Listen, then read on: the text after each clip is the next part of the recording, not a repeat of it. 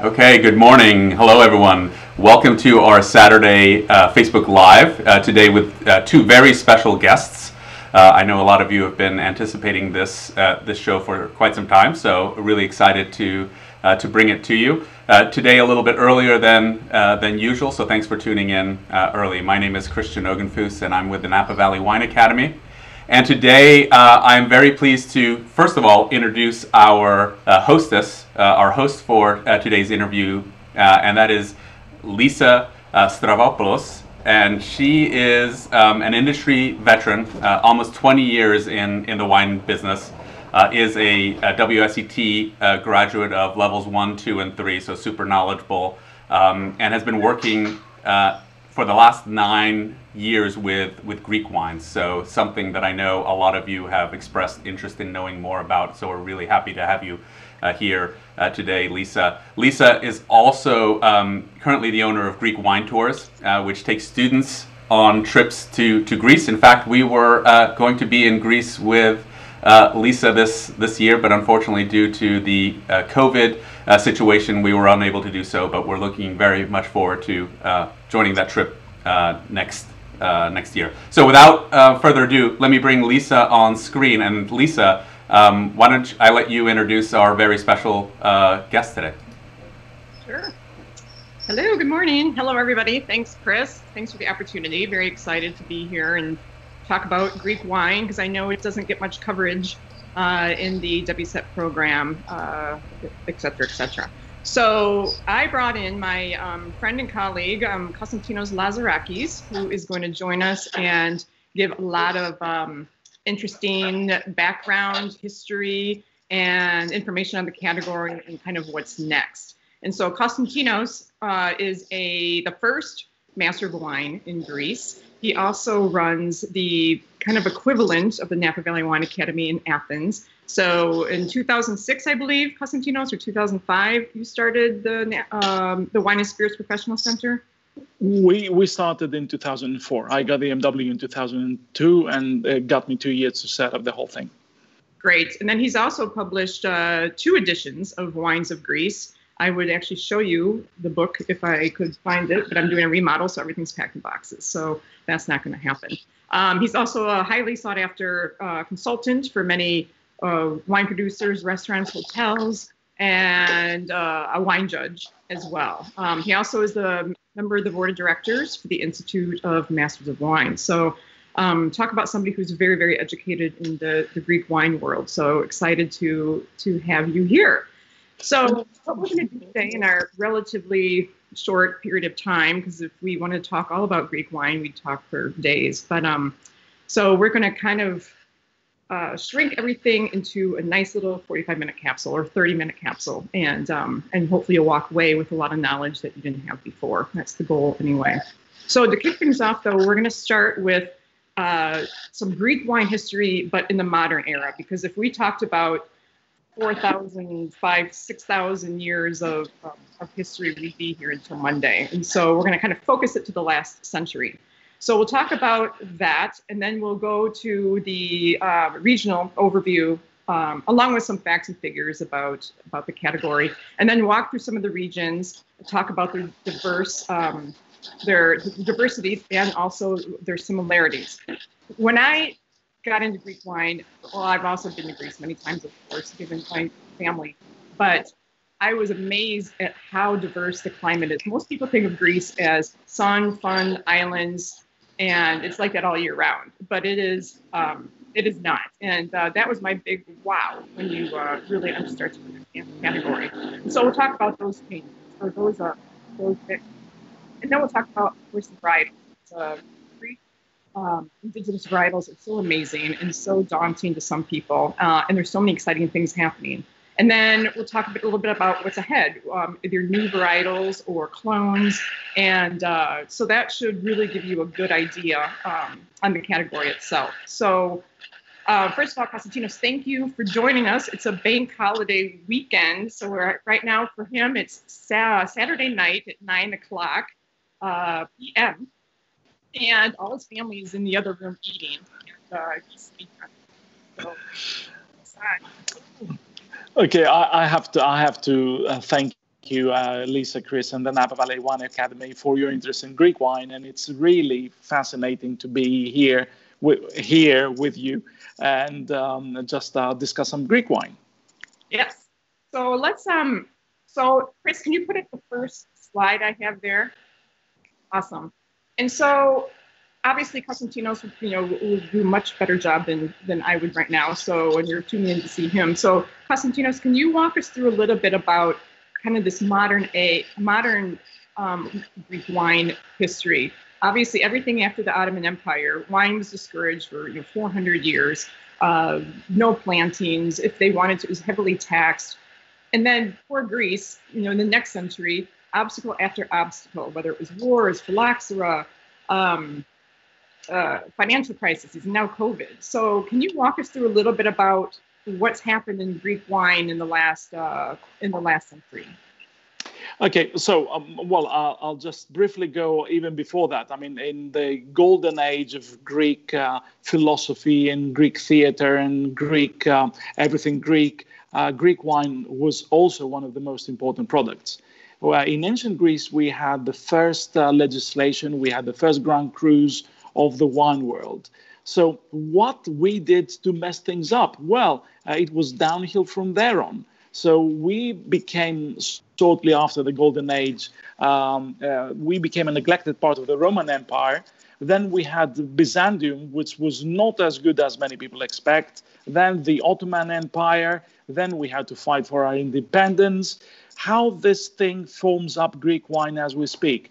I have the theory of the two aristocracies. You must have one aristocracy producing fine wine and one aristocracy being able to appreciate fine wine. In Greece, in Greek modern history, we were almost bereft of both aristocracies until very recently, if that. So we were not having enough time to focus on quality and then have that quality appreciated. And then in about the uh, 1980s, we had a big boom. We had the um, the the uh, sort of the the revolution of the small producers. Before that, it was only bulk wine. It was only producers bottling millions of bottles and nothing after that. In the late 1980s, we had uh, some people that had been studying abroad or had been working at the bin wineries, starting boutique quality oriented wineries. And then the whole thing was booming. We have now about a thousand wineries in Greece, a lot of them producing really top quality wine. So all we need is the image. I do believe that Greek wine should be far better um, engulfed by the vinous status quo around the world because it's, it's a great wine. Absolutely agree. Could you spend a little bit of time talking about um, the uh, in the 60s and 70s, even before the 80s, when quality really started to take off? There was the everybody made their own wine, domestic consumption only, nothing was exported, and talk a little bit about Retsina because what's Retsina, um, especially in the States, anybody who tries to sell Greek wine, uh, there's a lot of people with the memory of Retsina, and um, and that's been that's been another obstacle that uh, has been difficult to overcome. But what's interesting is that generation is moving out, and the younger generation doesn't know uh, the history and the relative importance of um, of Retsina. Would you mind spending a few minutes talking about? Yes, of course. Um, uh, before the 1980s, uh, I mean, for millennia, wine was a very important part of our lives, but it was a staple product, but it wasn't an aspirational product.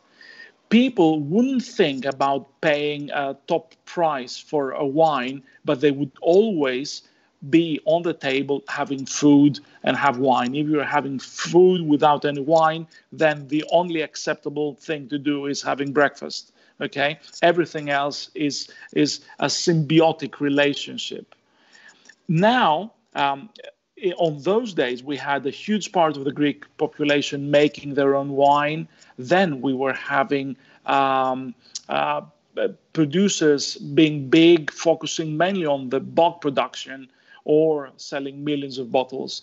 And also in the last century, we had Retsina. What is Retsina? Is adding a bit of pine resin into the wine during fermentation to flavor it. Um, Retsina, for some people, was the longest nail in the coffin of Greek wine. Um, because uh, a lot of bad, bad Retsina was produced and it was giving Greek wine in general bad name.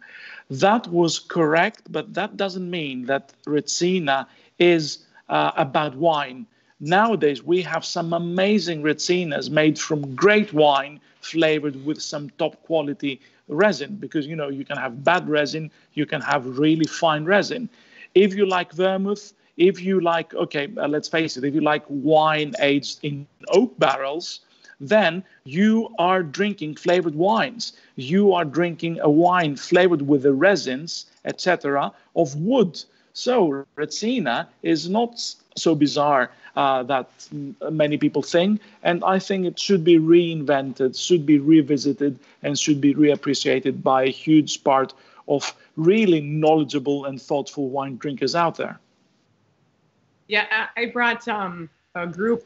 I don't know. This was a couple couple years ago ago, and there was a a very young spirited 75 year old man that was on the trip, and we went to Papayannakos and had his modern day Retsina, and he was like, "No, no, no, no, bring back the um, you know the the, the Retsina I had on the barrel in the 60s," and so um, yeah, but uh, I relate. I relate. Yeah, yeah, I bet. Okay, great. Well, let's um let's talk about some facts and figures and start diving into the map. If you can, Chris, move to the next page. And here, Konstantinos, I was wondering if you can just talk through just some some key uh, figures in terms of you know what, how big is the is the region or how big is the country and how the regions are broken out and maybe touch on the PDO PGI aspect so people have an understanding. We won't spend too much time here because I think it's important mm-hmm. to get through varietals, but I think some okay. Yeah, uh, I think that, okay, uh, regarding PDOs and PGIs, this is exactly in line with all the other European countries. So if you know your legislation, your country legislation in France or uh, in uh, Spain, then it's pretty much what we're having in uh, in Greece as well. Uh, I think the key fact to take away out of this slide, because it's uh, Saturday morning and I don't want to kill people with numbers, is that, um, for example, some people. Um, drink Bordeaux and they think they're having an exclusive product in their hands, even if it's a, a 10 euro, 10 10 dollar uh, basic Bordeaux in their hands, and they think about Greek wine and they say, mm, yeah, Greek wine is uh, a bit uh, more mainstream or a bit more dull, blah blah blah. Well, just Bordeaux, um, we're talking about one region in of France produces more than double the wine of the entire Greek annual production. And if you uh, exclude, uh, and if you uh, think that we drink more than 80% of the wine we're producing, um, if you just uh, leave your place and you go into a local shop, if you're happy enough to have some Greek wine on the shelves, buying a bottle of Greek wine outside of Greece is an exceedingly rare, it's a very exotic uh, event. Greek wine is rare it's made from artisanal producers. Okay, look at the facts on the vineyards and the acreage. The annual, I'm sorry, the average acreage of a vineyard in France, the average is only exceeded by 10 vineyards in Greece. Uh, I don't know if you get it. Only 10 vineyards in Greece are higher, are larger than the average vineyard holding of France. So we are talking about fragmented production, artisan producers. It's really human scale, and that's rare, and that's an advantage nowadays. And um, we'll talk about price points later, and, and, it's amazing how affordable Greek wines are. Given oh yeah, for sure. Yeah, so maybe, yeah. maybe say a few words about that.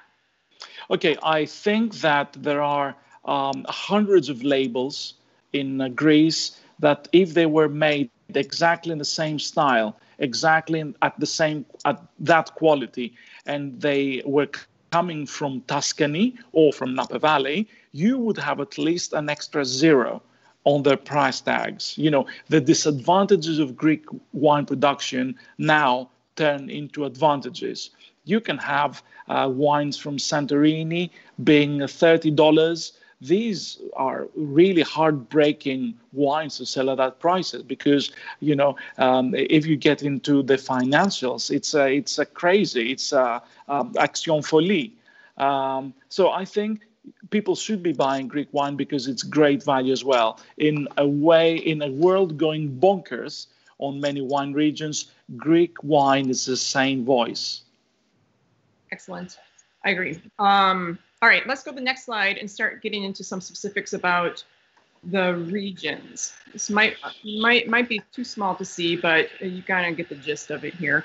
Um, so what I so Costantino, can you walk us through maybe, I mean, you know, in five minutes, you know, from north to south. Uh, what I love about, again, I mentioned before about Greece is that the diversity um, in climates and as such the soils is so vast in such a small country. 80% of Greece is mountainous, and most people don't realize that. Uh, and that creates a, you know, a plethora of opportunities for wine growing and wine production. You know, from the north up in um, um, Macedonia down to Santorini, the differences are vast. So maybe you can talk a little bit about, um, you know, the the regions, the diversity in climate, and then also, I think I have, you know, we have some slides on, I'd like to focus on the Peloponnese, Naousa, and Santorini, because again, these are the three, right now anyway, the three areas that are um, really part of the, the WSET curriculum um, and also mm-hmm. part of the tour that we were going to bring people on. So if you could do that for us, that would be great. Okay, yeah, um, I'm not sure um, uh, a lot of people can read the maps, and I'm not sure if, uh, again, they want to be bored by no, names. I mean, up in the but north. But just generally, you know, yeah. North, okay.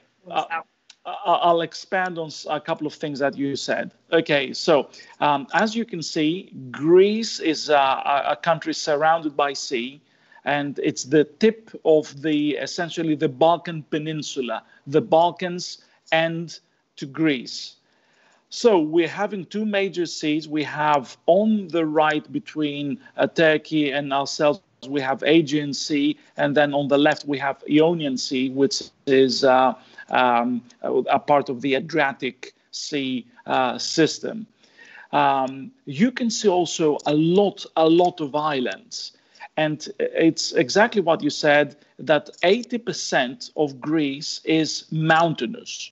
So we are having all across Greece a fantastic system that is full of places of high altitude being extremely near to places that are coastlines. You have endless coastlines. You have a lot of valleys. You have a lot of islands. So Greece is a mosaic of extremely particular mesoclimates or climates that, as a whole, is extremely difficult to duplicate in a place like Austria or in a place like um, Spain. Also, because of uh, the, the fact you have an extreme um, uh, fragmentation of grape varieties. I mean, we have been producing wine for thousands of years, so Vitis vinifera had the chance to develop into very distinct and numerous grape varieties. I don't know if you know the story that you know you have a small island in the middle of nowhere, and you have suddenly the lions being there, uh, being very mini-sized, or the elephants being huge. Um, you have these things happening in zoology. It's exactly in vinology. You are when you're having isolated systems that have limited interaction with places that might be very near yet so far you have different styles being developed, different grape varieties, you have different climates. So you have a lot of things like that in Greece. Also, people think Crete, that, that big uh, island at the bottom of the map, and they say, oh, it's great to go on holidays. Uh, so, you know, great climate for swimming, not great for wine, because now we live into the infatuation of cool climate. No, cool climate is related to the grape variety you're working As I'm always saying, is that um, what is Northern Rhone? Is warm climate or cool climate? Well, um, it's something that it depends on the grape variety. It's too warm for Riesling, it's too cold for Mourvedre or Grenache. So if you walk around the Greek vineyards, you'll spot that all the grape varieties, the preferred varieties, are grape varieties that behave in specific vineyards like they're grown in cool climate, meaning that you have to work hard to get the grapes properly ripe.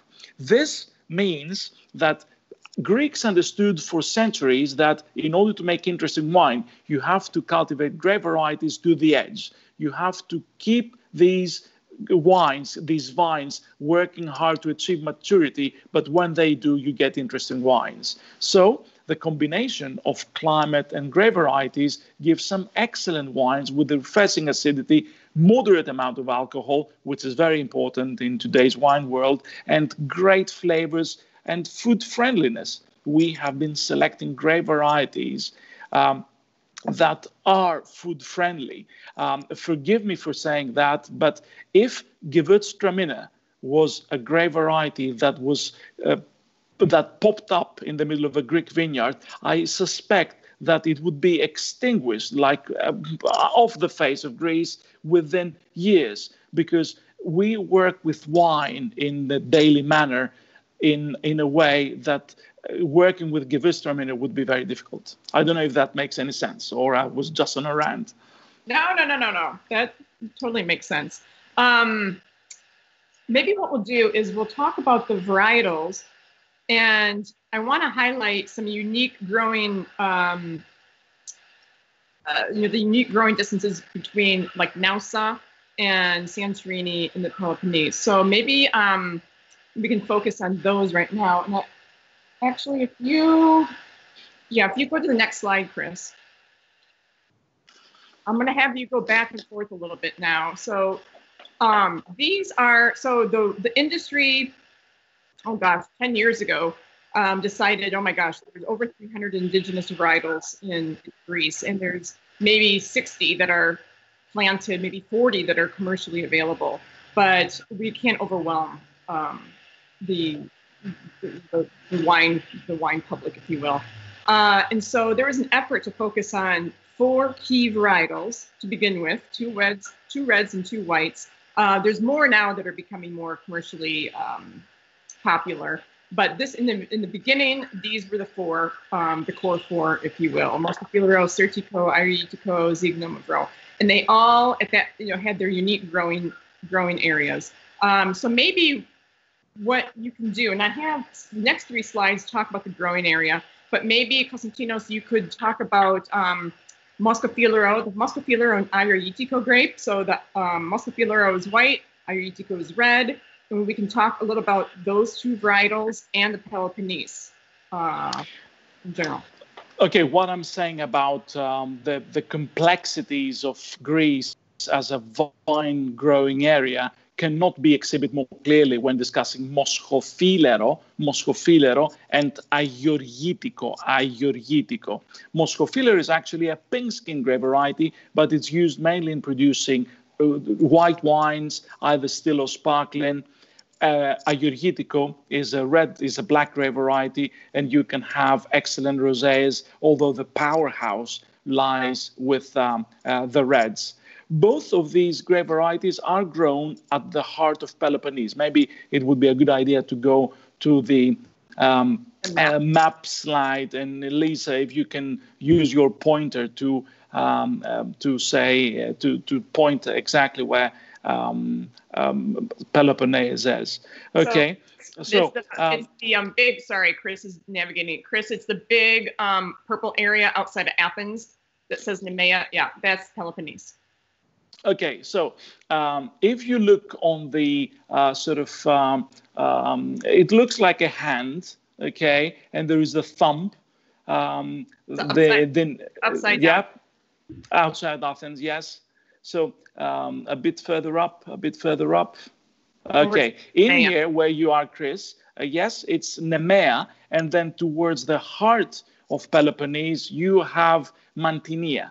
Nemea is the appellation for Agiorgitiko, while Mantinia is the appellation for Moschofilero.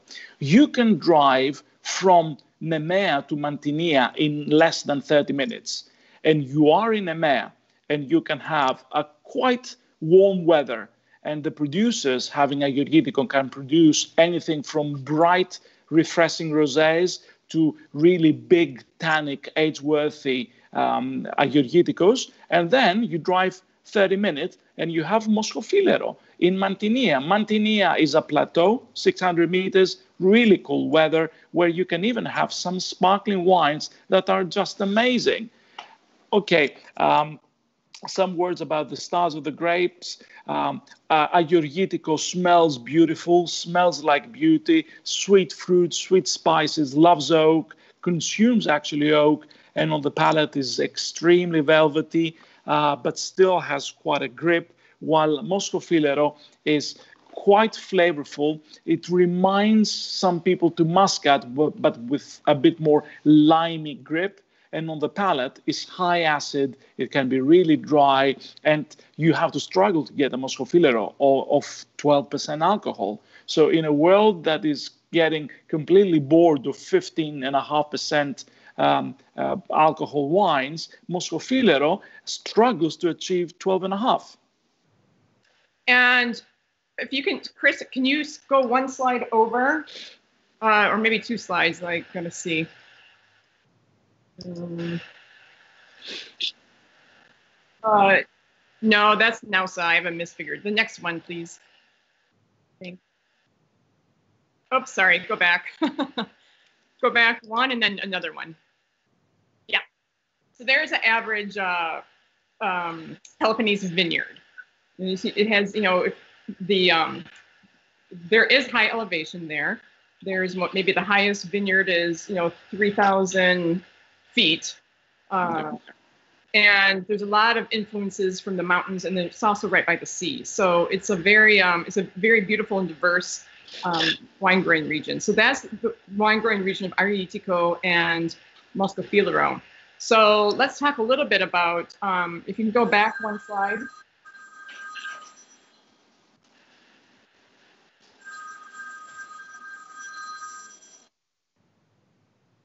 Uh, okay, that's okay. So let's talk about, um, okay, so those were the Moscofilero and Agiorgitiko. Uh, let's talk about um, Naousa and Xinomavro. Naousa okay. is far, mm-hmm. far north, very cool climate. Um, take it from there. Okay, so um, uh, Xinomavro is the king of uh, the northern part, which is Macedonia, and uh, we are having quite a few PDOs there. Um, yep, we're having quite a few of videos um, that are using Xinomavro. It's Xinomavro. And um, uh, Naousa is very moody, is very rainy, is uh, not the best place to visit, especially when you are having uh, a relaxed bank holiday or whatever. Um, Xinomavro, in some ways, it's the Nebbiolo of Greece. It's not related uh, in any way to Nebbiolo, um, but the style of wine produced by Xinomavro is really close to that. It's um, uh, very pale in color, turning to brown very fast. It's um, miles away from the fruit bomb we're quite used to these days. Uh, it's um, very uh, vegetal. It's like uh, tomato leaves, sun-dried tomatoes, and quite wild, pungent spices and then you get it on the palate and it's quite acidic and quite tannic as well. So why drink it? People would ask. Well, you have to drink it because it's one of the most complex wines you will ever see. It's very age-worthy. Bottles from the late 60s can be absolutely sublime as we speak, and still you can get these Xinomavros now for $20. I mean, um, I have been given by um, a couple of um, master sommeliers blind a Barolo and a Bar- and I'm sorry, a Barolo and a Naousa, and uh, they asked me to identify um, the wines blind. I knew it was one Naousa and one Barolo. I wasn't aware which is which. After tasting these wines for 10 minutes, waiting like a pig, I said, okay, this is the Barolo because this is the best wine and that was the Naousa. The problem was that Naousa was some like four times cheaper than the Barolo. And that, of course, was Barolo's problem, not the Naousa's problem. Right, exactly. And um, Xinomavro means acid black because of everything. Acid black, yeah. The Yeah. right, the, the right on the acid bit, they're lying a bit on the black. Yeah, a little bit more brown. Yeah. Um, okay, cool. So let's go to Santorini. So we're we went from the north. Now we're going way down to the south um, to Santorini. Santorini, as many of you know, uh, amazing place to grow Assyrtiko, um, the birthplace of Assyrtiko. Assyrtiko is found elsewhere um, now uh, throughout Greece, but still, its its home is is the volcanic island of Santorini. Um, if you can go to Chris, I think it's the second to last page. I think it's page. Yeah, perfect. Um, so, Konstantinos, let's, let's talk about Santorini, um, the region, and then Assyrtiko, the varietal. Okay, so these are some of the most bizarre vines you will ever see in your life. They are basket trained because Santorini is very windy, is very um, uh, is very dry, is very sunny. So the only way that you can protect the vines uh, from the wind and also try to preserve um, the little mist that is coming out from the volcano's cal- caldera every morning is by having these wind and mist traps, the baskets. Um, these beasts that you're looking at are most probably more than a couple of hundred years old, and the root systems are going to be far more, uh, far older. Why is that? Santorini is uh, having no phylloxera. Actually, it's not phylloxera free, it's phylloxera immune. You cannot get phylloxera in Santorini because phylloxera needs at least 5% clay to crawl, and Santorini, being a very young volcanic soil, has zero clay. Okay, so this is quite bizarre. So you have these vines being trained like that. When the basket gets too bulky, then they get a cane from the base, they chop the basket off, they just put it as a decoration on the wall um, above their fireplaces, and they start a new vine. So you might see now vines that might be something like 40, 50 years old above ground, but the root systems can be three, four centuries old. And I'm not talking nonsense here. We found vines of that age. And then um, you're having a climate that is completely incompatible with what we call top quality wine, and you're getting a wine like that. Why? Because it's the grape variety, it's Assyrtiko. Assyrtiko is not an aromatic grape, it's a very hardy vine. It's um, uh, it can go quite high in alcohol. It's more textured rather than uh, expressive, but then you have masses of acidity. Uh, for the uh, people that enjoy numbers or technical details, most of Santorini's are below 3 pH, below 3, in order to get other wines uh, of that pH level, that high acidity, you have to go to Mosel Rieslings.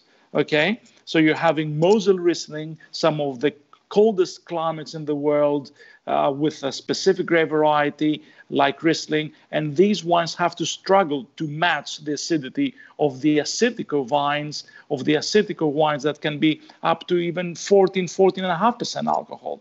So it's a bizarre thing, it's a bizarre place, it's a bizarre wine. But Assyrtiko is on its march to conquer the world. We're not talking about only Greece. Now we have Peter Barry doing amazing work with Assyrtiko in Clare Valley. Then we are in Australia and we are having people in Italy, in California. Um, uh, um, Elisa, I think, brought me um, an Assyrtiko uh, wine at some stage when we met there. Um, from California, it's it's a it's an absolutely sublime grape variety. Yes, I agree. And then, can you explain? I mean, some people may know, but some others, the um, uniqueness of the soil there. Obviously, it's a lot of pumice. It's a lot of, um, you know, it's a volcanic island. Could you explain for those maybe who don't know why it's so unique? And you know, back to the vol- um, volcano eruption of. Yep. Okay. Uh, at, um, at 16th century BC, we had a huge eruption of uh, the Santorini um, uh, volcano. Um, I mean, if you see a map of Santorini, it looks like a croissant. It used to be a round island, but then uh, the, the core part erupted, went up in the air. Uh, people say that the Minoan civilization was destroyed because of that eruption. So all the people in uh, Santorini left. Uh, actually, bizarrely enough, we were not able to find a single body uh, that uh, that um, someone deceased uh, during this eruption. So people had quite a lot of fair warning and left. So Santorini, apart from some very few places, is covered from the soil, from the uh, volcanic matter that was uh, erupted and then settled on what remained in Santorini. So we are having, a, as I said, a very young soil.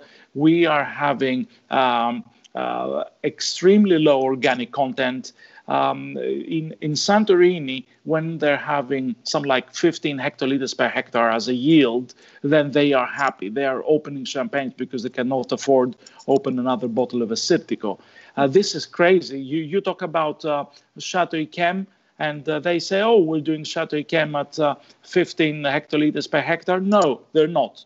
Their vines are producing a lot more, maybe three times more, what they select from the vines, berry by berry, comes down to the complete number, to the final number.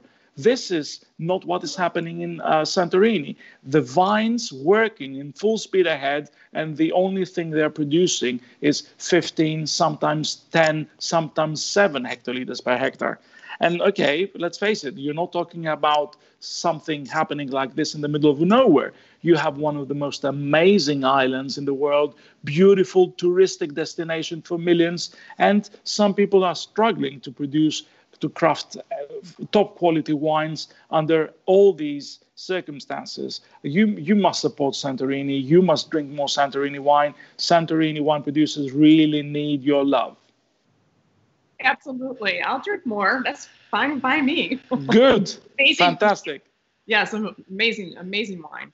Um, well, I want to make sure we have time for questions here. So the last, if you can go to the last slide, um, uh, um, Chris. Uh, so now we're kind of talking about the future. You have an idea on the three main varietals, uh, or the four main varietals. We've talked through uh, the regions, we talked about the history. So what's next? So in Nemea, not far from, um, you know, in, in, the region that we were talking about, Bakasiatos Nursery uh, started, I think, in the 30s. Uh, and his son has taken over. And Bakasiatos has been his mission is to find or to find undiscovered and to find rediscovered and to find new varietals, clones throughout Greece. They he actually, you know, will go out and seek, talk to farmers and say, do you see anything that's unique here in terms of um, a leaf or a vine or whatnot? And he has a very impressive nursery where, again, um, the group was going to be last week, but we're going to go next year. And so right now in his nursery, he has 180 rediscovered varietals that have gone extinct or nearly extinct. And, and, the goal is to kind of bring all these back and to see what's commercially viable. I mean, some things aren't going to work anymore. Um, he discovered three that are that some wineries are are experimenting with that are look promising. Um, and they're here. Um, Zacni, you're gonna you're gonna pronounce it better than than I am, Konstantinos. But um, Macrimodia is the white, and Marostifo. So yes, if you have any just if you have any words you can talk about with um, Bakasiatos's uh, initiative and, and these varietals, that would be great. Okay, so it's Zakynthino, it's Macripodia, and Mavrostifo. And um, okay, if um, if um, Greece is the Jurassic Park of Vitis vinifera, then definitely uh, uh, is Sam Neill. Actually, if you look closely, you'll see that looks like Sam Neill as well. Um, uh, uh, I mean, uh, oh, he, he, he, yes, he's uh, he's spending around days and nights of his life uh, visiting the most remote places in Greece and comes back home with bizarre grape varieties that we don't know a thing. most of them we know are going to be not very important, not very interesting. But then I bet that after 20 years, we are going to revisit Greece and we will see a lot of grape varieties at that time being famous, producing great wine that today no one or possibly just Bacasquiat has heard of. So Greece, Greek wine is work in progress is great now and it's going to be even greater in the coming years. So it's exciting and it's developing every single day. Absolutely. Um, well, I, I think we should hear from the um, viewers if there, Chris, are, are, there any questions? We have, you know, whatever we have, 15 minutes or 10 minutes or five minutes to see if there's any questions for either of us. Yeah, so um, the one question uh, that came in a little bit earlier was about the uh, the soils of Santorini, but I think you addressed that in, in Phylloxera. Uh, one, one, of, one part of that question had to do with minerality. Does the volcanic soil impact the minerality of, um, uh, of the wine? Uh, well, okay, but we can talk about that for the next uh, couple of years. Uh, I don't believe that um, Vitis vinifera can um, can absorb through vine rootlets elements that finally will have a direct impact on the final taste of a wine. I believe that uh, what we call minerality, because wines are mineral, especially in Santorini, it's something like uh, along the lines of uh, wines being fruity or by, uh, wines being spicy. We try to um, to uh, sort of uh, reflect to our memory bank by coming up with the, the M word. Uh, but uh, yes, at the same time, you're having a grape variety that is not aromatic, is not very estery. Um, it's uh, high in acidity. It's very textural. It has a lot of dry extract. So to some degree, you can um, you can uh, Rosalind, uh, you can um, uh, think that it implies minerality, and of course. Um, the grape variety and the terroir push the wines towards this, but uh, I'm not thinking that the minerals found in the vineyard of Santorini is the main reason behind this uh, this um, uh, taste.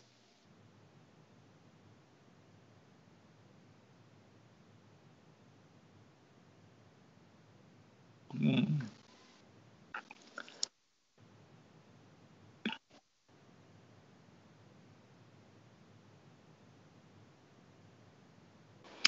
Yes, but I think this is something we have to work on. Uh, if Austrians manage to uh, have people doing Grüne Veltliners, then we can do the same with Xinomavro and Agiorgitiko. Uh, it's just a matter of working hard. I mean, let's face it, Greek, I'm sorry, the world of wine in general is getting too boring, and we have to respect the diversity. We don't have to mute it.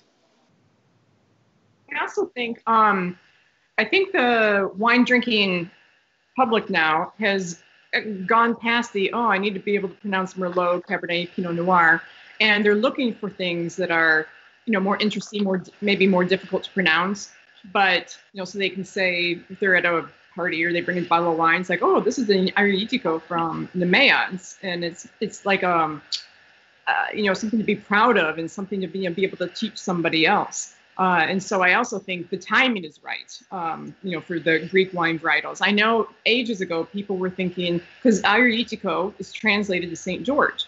Let's put St. George on the label so people understand that, which is, you know, not the right thing to do. And so, and I think, I think the wine drinking public would agree that, you know, I don't, you know, that's too English. I, you know, I want to find something that's interesting and, and, you know, sexy, if you will. So, you know, I think it's, um, I think we're at the right time for for varietal pronunciation like that.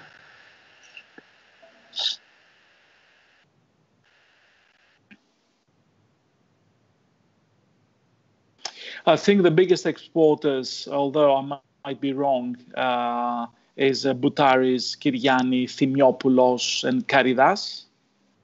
Um, yeah, Diamond, Diamond uh, Wine Importers brings in. Yep. Kir-Yianni. Okay. Yes. Get this on the screen. Um, also, uh, we have Ktima Alpha producing Xinomavro, but this is uh, Aminteo. Oh yeah, you have the full gamut, Lisa. Um, and and I don't really believe that vintages do matter. I mean, they matter in terms of style, but not in terms of quality. In Greece, we rarely have really bad vintages, and the top people know how to craft excellent wines on every single vintage.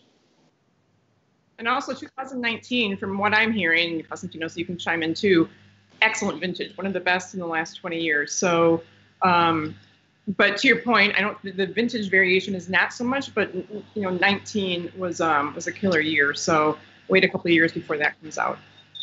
Yep.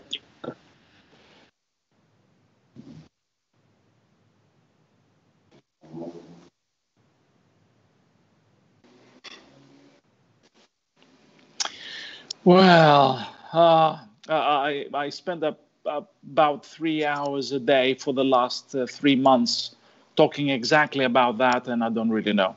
I think that Greek wine is very heavily on trade reliant, and that is uh, specific to both exports and the national market.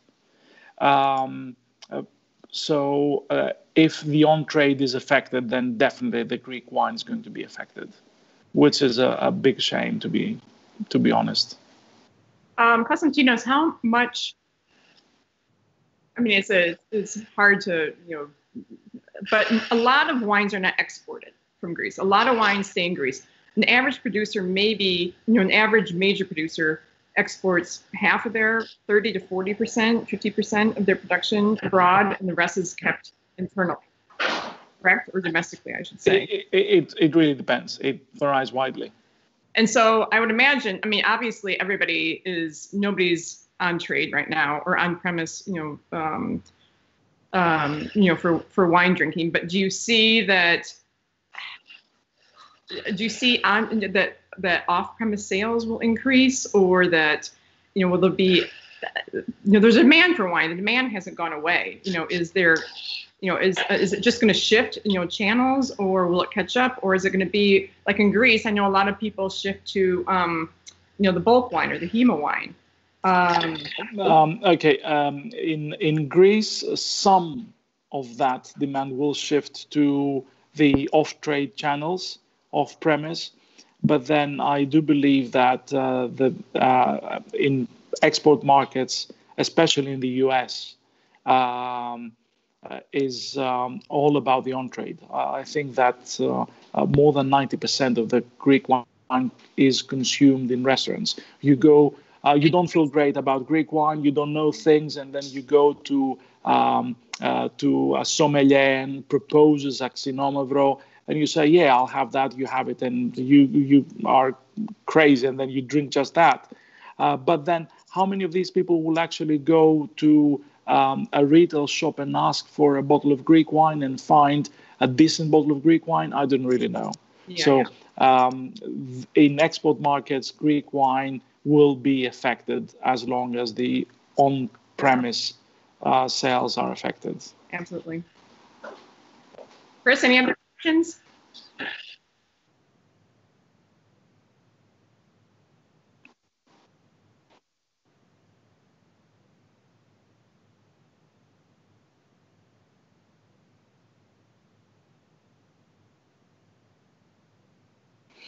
Right. Um, uh, you could have a couple of uh, hours uh, answer to that. Okay. In Greece, we never have just one food when we sit at the table, we have a lot of small different plates with highly contrasting tastes. So Greek vineyards have been unnaturally evolving together with humans in order to select the grape varieties that can match widely different flavors. So this is the great taste of Greek wine. This is the great aspect of food and wine matching when we are relating to Greek wine and anything that relates to the world of food everywhere around the world. And Greek wine, the acidity is so great um, or so perfect for food matching that really you can open any bottle uh, with anything. And believe me, I've done it. And, uh, and it'll taste great. Yes, yes. Fantastic.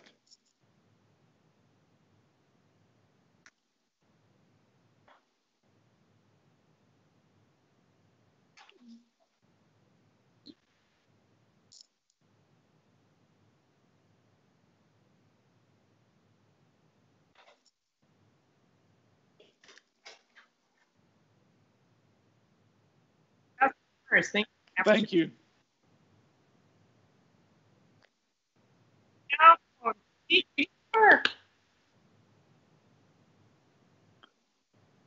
Yes, I hope so. I hope so. Thank you for everything. Uh, I will. Okay. All right. Thank Bye-bye. you. Okay. Bye bye.